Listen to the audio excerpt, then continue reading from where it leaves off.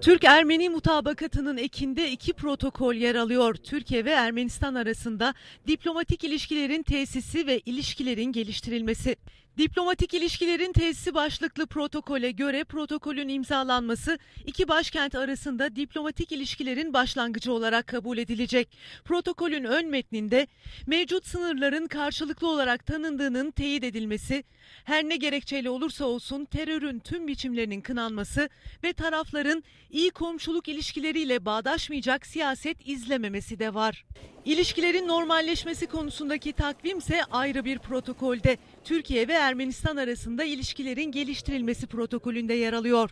Protokolün imzalanıp yürürlüğe girmesinden itibaren iki ay içinde sınırın açılması öngörülüyor. İki taraf kapsamlı diyalog üzerinde de uzlaştı. İmzalardan iki ay sonra Dışişleri Bakanları Başkanlığında çalışma grupları oluşturulacak. Çalışma grupları hükümetler arası komisyonun çalışma prensiplerini belirleyecek. Bundan bir ay sonra hükümetler hükümetler arası komisyonun çalışma prensiplerini onaylayacak. Komisyon ve alt komisyonlar çalışmalara başlayacak. Bu alt komisyonların biri ilişkilerin tarihi boyutuna odaklanacak. İki millet arasında karşılıklı güven tesisi amacıyla tarihi kayıtların bilimsel olarak incelenmesi ve tavsiyelerde bulunulmasını da içeren bir diyalog başlatılacak. Komisyona arabulucu İsviçre ve diğer ülkelerden de katılım mümkün olacak.